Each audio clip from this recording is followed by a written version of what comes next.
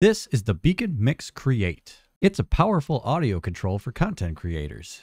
Personally, I'm not a fan of having giant control boards taking up room on my desk, so right out of the box I was happy with the overall size and simple design. I'm going to do my best to give you most of the basic info without diving too deep into everything this thing can do.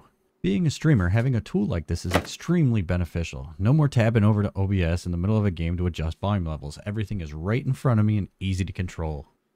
The USB-C cable that comes with this device is only six and a half feet long, so if you need some more length than that, I highly recommend you order it along with this device.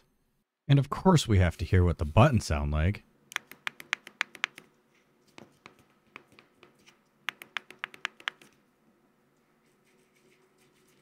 Once you download the Beacn software, you just plug in the device and you're good to go.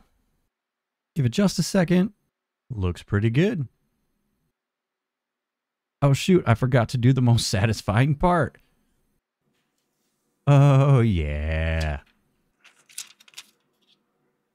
With the Beacn software pulled up, you can adjust the levels that you personally hear in your headphones or speakers by spinning these knobs.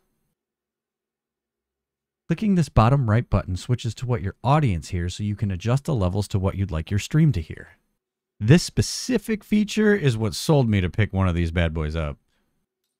You can click down the volume knob to mute the audio for yourself and click the button below to mute the audio for the audience. Another cool feature I found is the ability to long hold the knob down to switch from your headset to your speakers.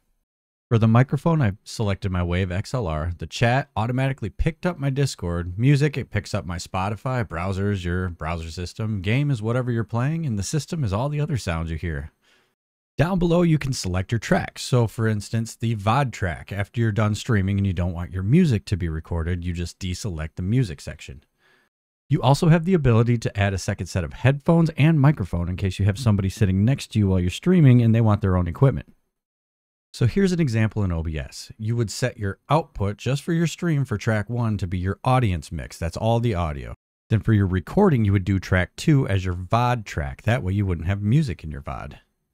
You can even add individual separate sources straight from Beacn itself. So that way, when you make your clips, they're all on different tracks and they're easier to edit in the future.